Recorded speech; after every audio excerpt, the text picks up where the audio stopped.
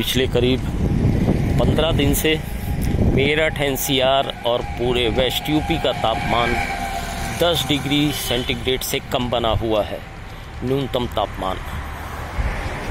इस समय हिमालय की तरफ़ से आ रही ठंडी हवाओं ने मौसम को पूरी तरीके से बदल कर रख दिया है। जहाँ तापमान में कमी आई है, वहीं ठंड में भी काफ़ी इजाफा हुआ है। मौसम विभाग की माने तो आने वाले दिनों में ठंड का प्रकोप और अधिक बढ़ेगा। जी हाँ इस समय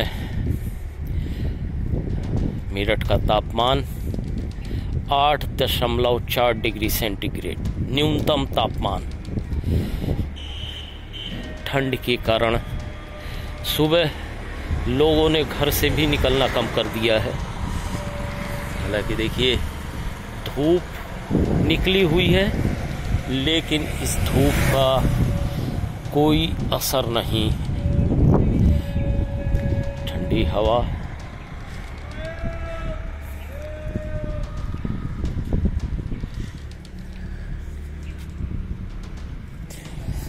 कल यानी सोमवार को सप्ताह के प्रथम दिन 18 किलोमीटर प्रति घंटा की रफ्तार से तेज हवाएँ चली।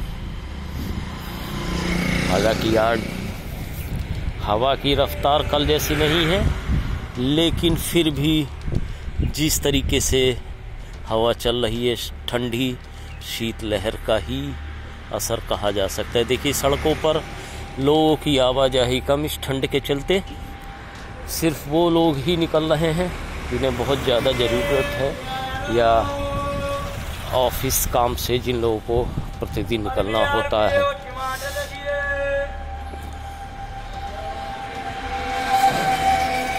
नवंबर के मौसम में तापमान पूरी तरीके से बदला हुआ मौसम विभाग के अनुसार। नवंबर के अंतिम सप्ताह में तापमान 10 डिग्री से नीचे जाता है आमतौर पर, लेकिन इस बार 2000 सन 2021 में दीपावली के बाद से ही तापमान में कमी आनी शुरू हो गई थी।